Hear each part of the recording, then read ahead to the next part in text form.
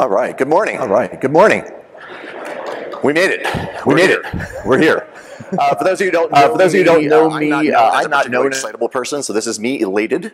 I am As as, a particularly excited excitable person, so this is me be right now elated. to be standing I am here. as excited as I can possibly be right now amazing. I also violated my Uh, cardinal rule of not having coffee also before I get violated my talk, cardinal rule of not having coffee before I to a talk. So strap in, right? Uh, I want to start today Uh, I want to start today with a sincere thanks with a sincere uh, to John, Nicole, to John, the entire staff Nicole, here the at entire 360. staff here at 360. Um, I've been here many, many times. many, many Ordinarily, I times. say Ordinarily, I thank you say for thank you for the opportunity being on the stage. This year, I'll say This year, I'll say thank thank you you that there is a that there is a stage. Uh, I don't. I don't. We, we can't, can't even begin to imagine, John, how much work it was to make this happen. Last year, you had an incredible virtual show. We really enjoyed ourselves. But uh, this year, you know, we're actually here in person, and that makes a big difference uh, for the community. It's a sign of your commitment to the community. So, thank you. Uh, while I'm talking about this room, I want to thank everyone who's in this room with me as well. Thank you for coming here. If for nothing else, selfish reasons, I don't have to give this talk inside an empty room. It's very nice to have faces looking back at me. So, thank you. Thank you for being here. You've come here at some personal risk, let's face it, uh, and we really appreciate that. Everyone here appreciates it. And finally, to all of our folks out there in uh, internet land, uh, out there streaming the event live worldwide. Uh, this is exciting. I've never done a talk show in front of a live studio audience with actual people watching around the world. So thank you for being here, showing your commitment as well, taking the time out of your busy schedules. Uh, you couldn't make it here in person, but you came anyway. And I, we really, everyone here in the room wants you to feel as welcome uh, as we do. And we want you to have, uh, get as much out of the incredible lineup of content we've got this week. So thank you very much. We are here today to talk about community. And given the last year and a half, you might be justified in having perhaps questioned the value of our community, questioned your commitments to our community. Uh, months of lockdowns, uh, social distancing, changing, uprooting your entire, entire social structure. Family becomes more important. You have a smaller and smaller circle of people you're interacting with. Uh, heck, if you're anything like me and you're an introvert, you're probably wondering, do I need other people? Right? And the fact that the world is on fire, quite literally, isn't helping. You know, we've got fires ranging everywhere from Oregon all the way across to Greece and Turkey and all around the world. And it's not just fires, we've got other kinds of climate disasters, right? We've got hurricanes hitting the East Coast this week, we've got earthquakes happening in Haiti. Um, you know, Mother Nature is no longer tapping us on the shoulder. She's kind of hitting us over the head with a sledgehammer, and we don't seem to be doing enough. So that doesn't help your mood either. Uh, and also, we've got, of course, political turmoil. We've got assassinations. We've got refugees fleeing totalitarian regimes. Uh, we've got problems. Okay. Um, and so it can, it can be very, very easy to forget that there's actually a lot of amazing, great, fun stuff, cool stuff, and really wonderful things happening around the world. Let's start with the fact that you know in labs all around the world in record time, several different groups of people worked their butts off uh, to produce not one but several vaccines for a worldwide pandemic, and by all accounts, they're working. Right?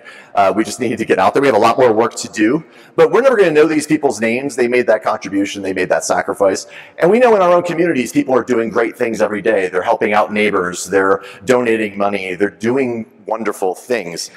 But then we keep turning on the news, and you know, the news doesn't like to tell us that stuff too much. Once in a while, you get a picture of a dog, you get a cute story here at the end of the newsreel. Uh, but most of what we're watching is all doom and gloom all the time.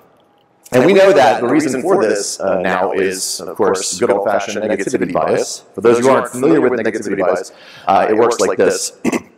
If you take two pieces of news, one that should have an equally positive impact and one that should have an equally negative impact. Say, like, okay, uh, you look at your weather report and you tell some people it's going to be five degrees warmer, and you tell some people it's going to be five degrees cooler. And depending on whether you like hot or cold, right, that should affect you not negatively or positively, but not any stronger in either direction. What we found is that the negative ones definitely have a greater emotional impact. You will feel sadder, angrier, scared, more scared, given an equally negative thing to an equally positive thing. Uh, also, that effect will last longer, so you'll be sad, angry, scared longer than you would be happy. And, the, most, important one, the third one, is that it will have a stronger influence on your decision making. In other words, it turns out that giving you 24 hours a day of bad news, bad making news. you scared, angry, you sad, scared, is actually really, really good for the advertising business. Who knew? Who knew? So, so this, this, is where I come back to that question I had earlier. Do I need other people? And the answer for me, at least, and I hope for all of us, is yes. Because the only way to break out a negativity bias, that nonstop cycle of what you're watching and what you're reading, is to get out into the world and actually meet the real people who are out there in your life. Uh, get beyond your little circle of five people who are reading the same news and actually have discussions with people that mm, you don't always agree with. And what you find when you get out into the real world is that the reality is very different from what you get off of Twitter and off of Facebook and off of YouTube. The reality is that there are good people everywhere. And they're making an effort to get through this thing, whatever it is. And so we're going to have to recommit ourselves to community in a safe way, in a way that's possible. We've got a long way to go with this pandemic. But whenever questioning uh, are these conferences still going to be going on? Are people still going to care to get together and do things? I think the answer is a resounding yes. And so, what do we mean by community in the first place? In the broadest sense, for me anyway, community just means a group of people who share a common interest, right?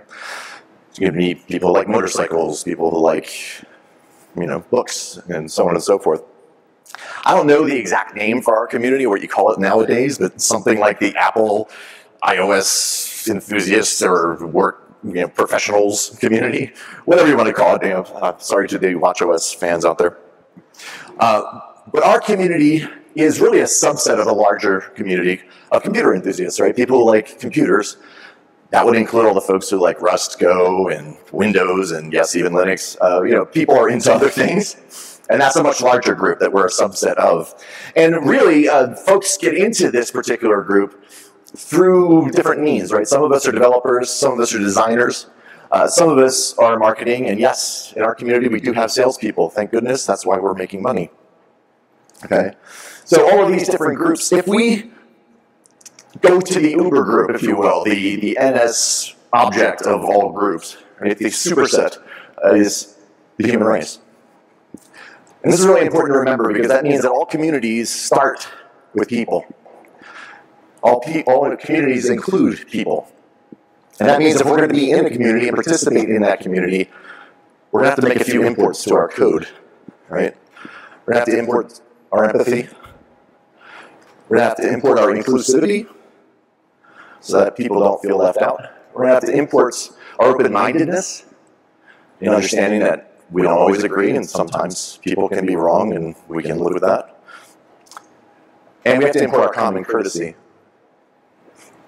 Now more than ever, we need to say hello and goodbye and do whatever our customs are uh, to remind each other that we're people. Okay. And I know this at this point. There's a few people in the room saying, "But Joe, I got into this. I got into the whole computer racket because I don't like people. I want to live in my cave." right? I want to spend all day down in the basement working and not talking to people. I want to talk to the computer because the computer never talks back. And I'm sorry, even if you're an indie developer out there building everything on your own, doing all your design, doing all your marketing, uh, you know, putting everything out there, you still have customers, right? Right. There's no escaping the people factor, the squishy stuff. There's no way around it. Sorry, hate to inform you. Or as James Dempsey might say in one of his songs, uh, these are not optional. Okay. So, main topics I want to talk about today. First and foremost, if we know this negativity bias exists, how do we overcome it? How do we get out of that mindset of everything is circling the drain? It's really important. Secondly, we want to talk about analyzing our contributions to the community, what we put out there into the world. Are we making things worse? Are we adding or subtracting? Right? Finally, uh, I want to talk a little bit about amplification. Which voices need amplifications, and more importantly, which ones don't. Okay, so Let's talk about getting out of this negativity bias. When I was studying to be a high school English teacher back in the Stone Age, I would get the same piece of advice from every single one of my professors. These were all veteran teachers, people who had been in the field, worked 20, 30 years in high schools. They ended up working at universities to train other teachers. Ended up working and the one thing they all said without question and the one thing they was stay out of the teacher's lounge. Was stay out of the teacher's lounge. I'm 20 years I'm old. 20 I've years old. been in a never teacher's in a lounge. teacher's right? lounge, just a room just full a room of full of people. Right? people, right? thinking, I'm thinking, why, why- what's the problem? Why would I do that? The way I look at it, that's a room full of experience. That's a room full of people who've been at this thing and they have so much knowledge, and I can ask them questions, and I can go in there and get all these great stories, and I can figure out how to do my job better. Why wouldn't I want to stay in the teacher's lounge? And the problem is, that's how you view the teacher's lounge when you're green and new, right? That is not how a 20 year veteran teacher views the teacher's lounge. 20 year veteran walks into the teacher's lounge because they need to vent, right?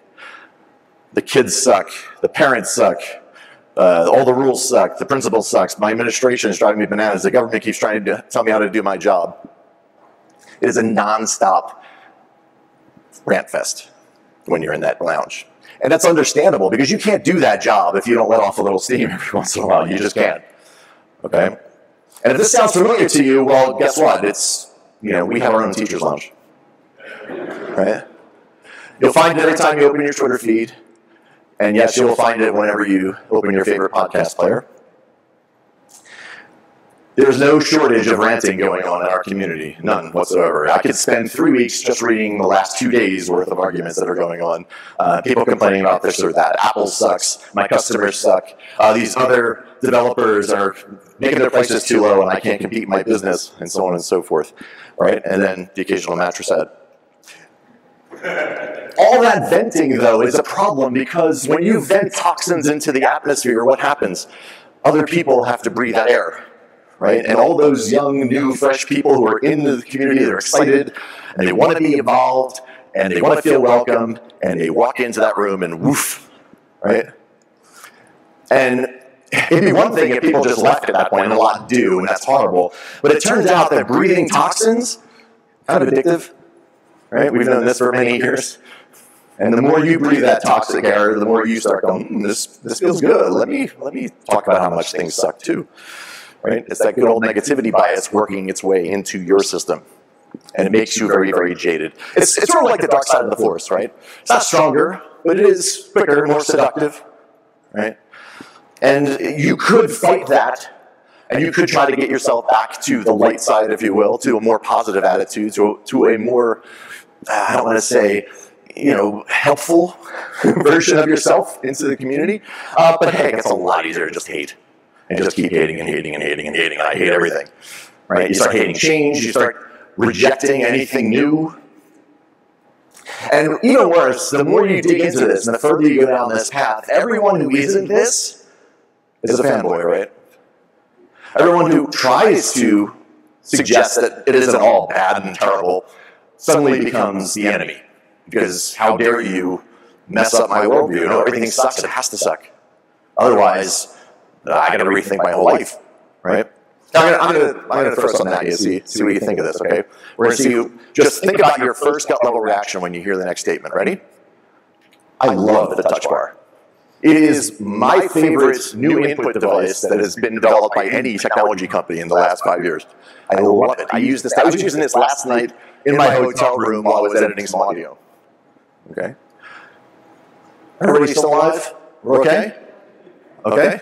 Nobody, nobody, you know, got hurt from that, right? Now, I imagine some of you were like, "Oh, okay, I can tune this guy out for the rest of the, the rest of the day.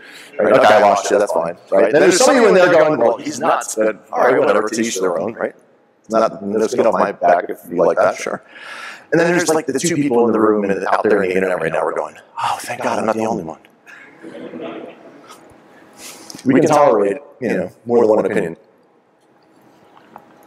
Have you ever wondered what our rant fests on Twitter and our podcasts sound like to people who are just buying their first Mac? People who just got their first job at Apple, weren't really following Apple before, but now they're like all excited to be on team, you know, and they confront this. You can imagine how many people just forget this and walk away, and other people, other people in the need to conform will say, "Oh, I guess that's what we do here," and then they just start piling in as well, right?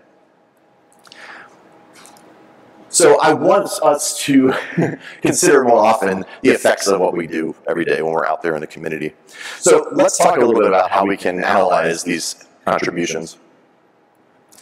Like to play a little game called Is this addition or is this subtraction? I don't mean is this positive or is this negative. It's more, is this helpful?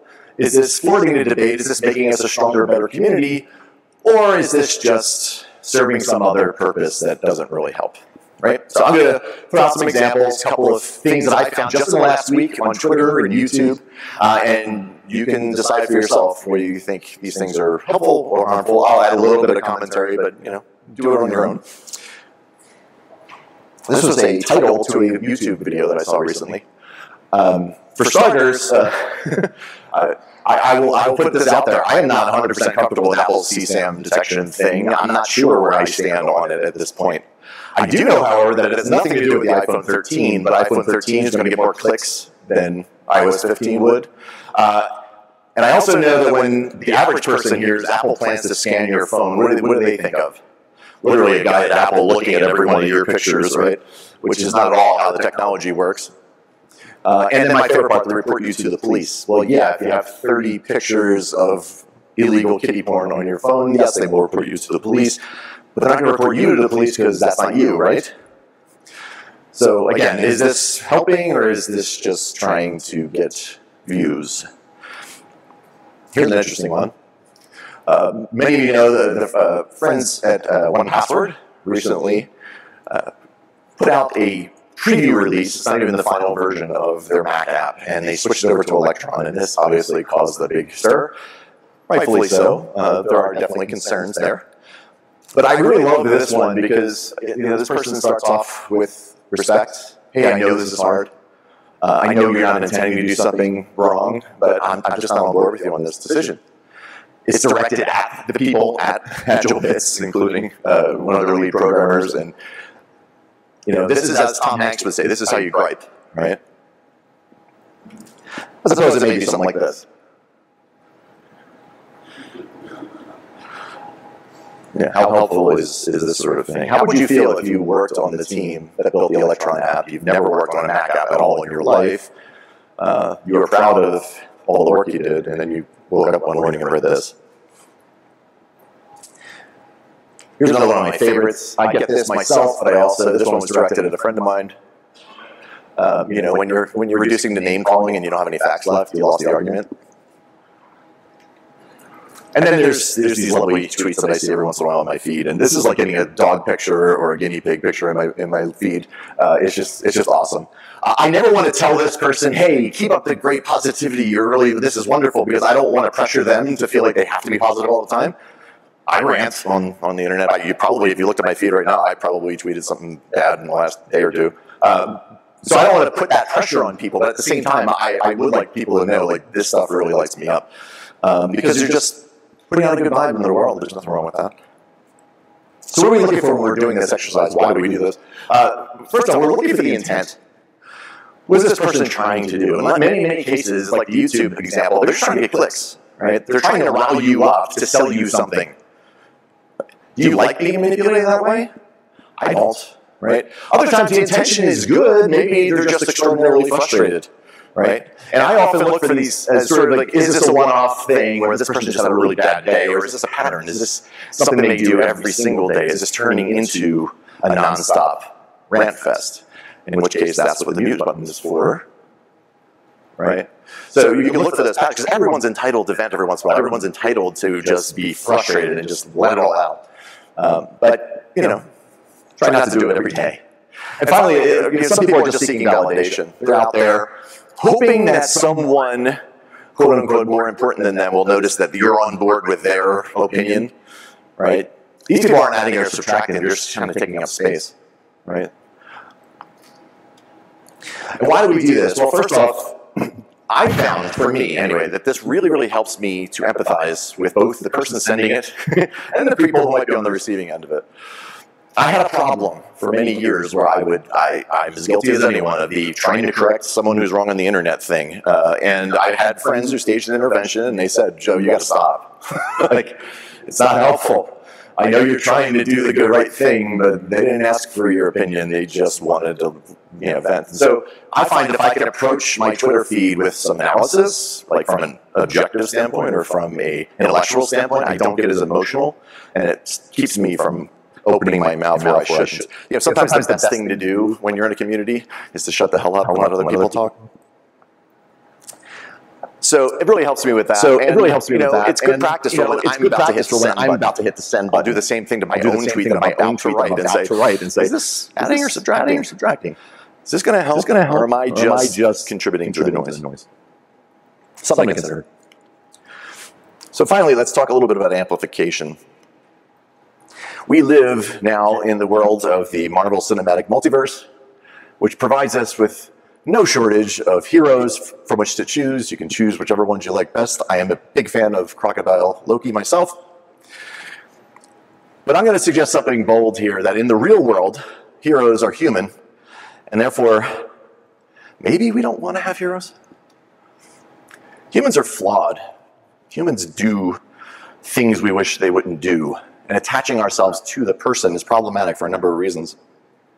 The first of which is a lot of terrible people invent great stuff. I mean, I, I'm not going to name names, but you know who we're talking about. There's a lot of people out there who are just not decent people, but they do amazing things. I mean, let's start with like Henry Ford, right? Uh, yeah, there, there are lots of people who, who are not admirable and they happen to do a great thing. It's like, well, then go use the thing they did, but don't necessarily connect yourself to them personally. Even if they're not all bad people, at some point they're going to do something, or something is going to happen, is going to come out in their past that they did, or something in the future that they do that is completely indefensible. And if you have been putting their poster on, on your wall for years, you're going to find yourself in that awkward position of trying to defend someone for something that should not be defended. I've seen it happen. Many, many, many of my friends trying to defend people who are just being total crap that day or doing a thing that they shouldn't be doing. And so I don't think it's a great idea to necessarily attach ourselves emotionally to other people this way.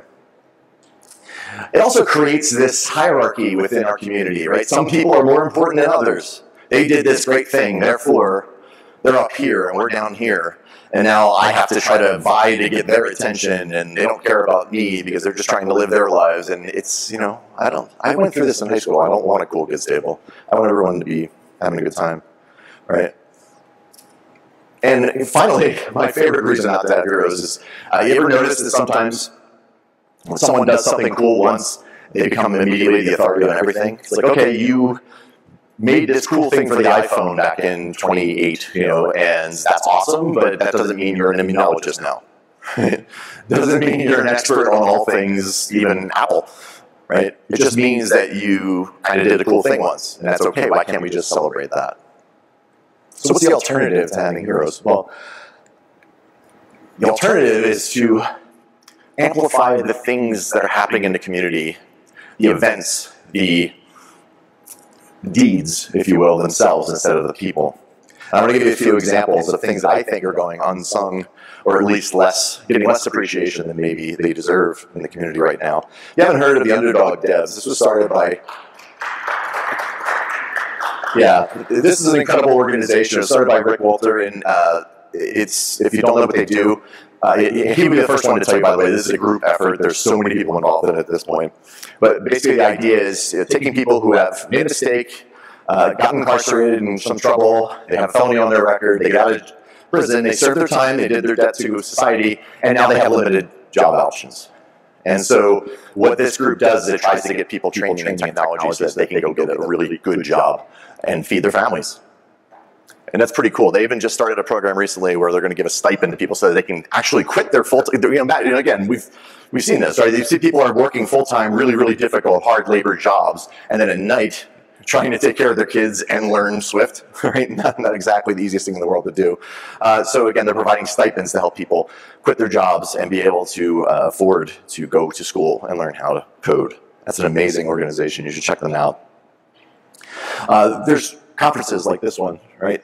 Uh, what John and Nicole do, Natasha over at Try Swift, the folks at Ray Wenderlich, so many ma- more uh, who have done conferences. They provide spaces for us to actually interact, for us to meet each other. How do we not thank them? How do we not thank you know, the fact that these places exist? How do we not amplify these events as they're happening, even if we're not going to attend?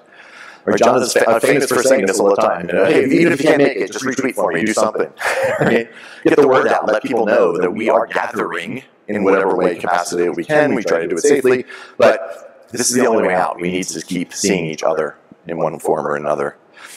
Uh, there's an incredible community at Micro.blog. We've got Jean MacDonald here, right? Who's Jean MacDonald here, organizer there, right? Who's has helped Matt Reece, who, who has uh, originally started uh, Microdot originally blog. started I call this the I call this anti-Twitter. The anti-Twitter. Not only do you own your own Not only do content, you which own your own content, which you is pretty awesome, post everything, and then it stays on your then it stays on domain, your domain, so that, if you want to pack up and go, you keep all the things that you all the things posted. that you posted. Uh, But more Uh, importantly, Jean and, and Matt over there, they created a community that is. I, I'm not kidding. It's the it, there's no negativity bias going on over there whatsoever. Every time I pop in there, I'm like, oh, this is pleasant. Why aren't Why don't I come here more often? Uh, everybody's happy. They're smiling. They're offering advice to each other. They're sharing pictures. It's like it's it's just utopia. It's wonderful. Uh, and because they don't have ads to sell, they don't have to push the negativity bias. And it's a pretty cool community. If you haven't heard of it, you should check it out. Think about all the great contributors to Swift over the years, the people who are writing proposals, the people who are critiquing those proposals. You could do that. We could do that, right?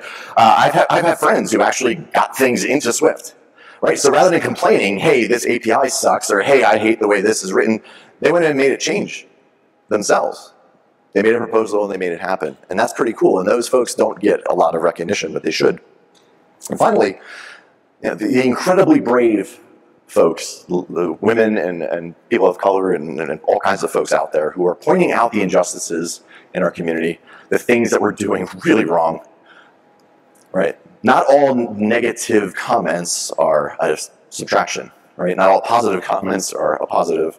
Uh, so, you know, this is extremely important. These are the kinds of things we need to amplify. When we are getting it wrong, we need to tell each other and be honest with each other about it. And people have to have the courage, uh, you know, have to be, feel safe to have that courage to make that statement. In other words, we don't need to amplify people who are standing in front of a you know, wall of Marshall stacks turned up to 11. They have plenty of volume already. You're sticking your little Fisher Price microphone up to it isn't helping. Right? They're going to do fine. In Boulder, where I live, not far from here, we have these amazing ash trees. They're just gorgeous. We call it the urban canopy. Uh, I, I read recently that these ash trees are not native to Colorado. They weren't there when they settled the town and, and built the town of Boulder. Uh, what happened was people got, and it was like much like the rest of Colorado, it was the Great Plains, right? And then you had the mountains, and the mountains had some pine trees, and that was it. And so folks said, well, there's a lot of sun here. Maybe we can create these a little bit of shade by putting lining our streets with these amazing trees. And they chose the ash tree, and they planted tons and tons and tons of these ash trees. And that was all well and good, and it's beautiful. And if you ever get a chance to visit Boulder, it's one of my favorite places on earth. Uh, it's it's just lovely, but there's a problem. This is the emerald ash borer. It's a teeny little bug that eats ash trees, uh, poisons them, kills them off. And arborists and ecologists are severely worried that we're going to lose 50 to 60 percent of our ash trees in Boulder. Monocultures are not good. They're not good for any ecosystem, and that includes our own. We can't keep amplifying the same five people. We can't keep sharing the same voices. We need to hear from other people. You know, the next time you're going to create a podcast featuring two white guys with a microphone, think about that. I say this as a guy who has a podcast with two white guys with a microphone. I know I'm part of the problem. But what are we choosing to amplify? What are we choosing to put out there in the world? Uh, we need the diversity, the inclusivity. So, to wrap things up here, this community is worth our investment. We're a ragtag group of fun people, and uh, this, this thing is worth saving. I may have been a little bit distraught when I started thinking about what I wanted to talk about or whether or not I ever wanted to go to a conference again. Uh, but the more I remember the people that I've met here, the more I wanted to contribute. But we get to decide what community we want. We get to decide that if we help other people in the community, if we give people a hand, that helps all of us. It's not a zero sum game. I don't have to gain in order, you know, I don't have to lose in order for you to gain. Right? We can have a tide lifting all boats. We just have to remember to import our humanity. We have to remember to at least refrain from being in the teacher's lounge all day. Right? I'm not gonna. I'm not gonna be a hypocrite and tell you to stay out there. I'm on Twitter, you know, more than I should be. We need, to, learn to add instead of subtract whenever we can. At least try to be part of the solution instead of the problem. Uh, we need to avoid having heroes. Sorry, Cap. Uh, we need to remember what we learned so that we can bend towards the light and help. And we need to amplify and we need to amplify voices that don't always voices get their don't always recognition or due. recognition or. We need to We need to lift those people lift up. those people. And if we do that, if we do we that, then we can be inspired. You know, then we can be Then we open, can be to, open to changes. We won't be We won't so, be so opposed, to to every every new new thing that comes our way. way. The new Safari bar isn't that bad, I promise you. We can be open-minded and accept that some people feel differently. And just because I don't like a thing, it doesn't mean it shouldn't exist. And most importantly, we can welcome each other into this community and welcome new people constantly into the community so that we can continue to grow and survive instead of getting destroyed by a, a beetle.